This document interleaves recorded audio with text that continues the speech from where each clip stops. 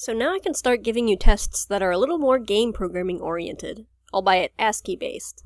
Arrays are important. You don't want to store new variables for each NPC you have, generally you want to put them in an array and iterate through each of them as you update or draw each one.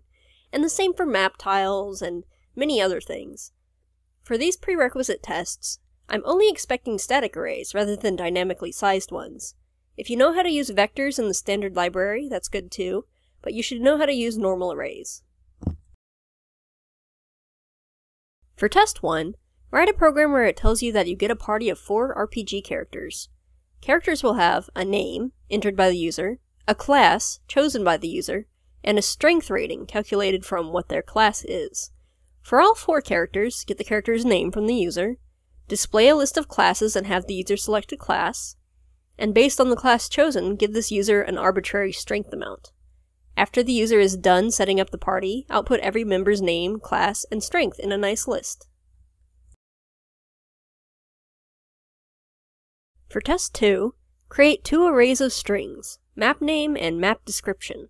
Display a numbered list of each map index and the corresponding name.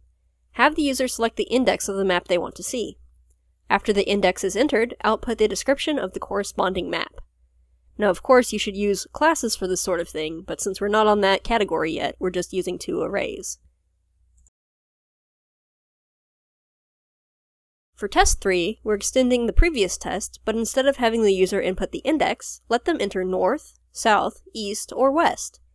These will move the user to an adjacent map, if one exists. Since you will have a fixed map width and height, you can navigate through the map by using basic math to figure out a neighbor index.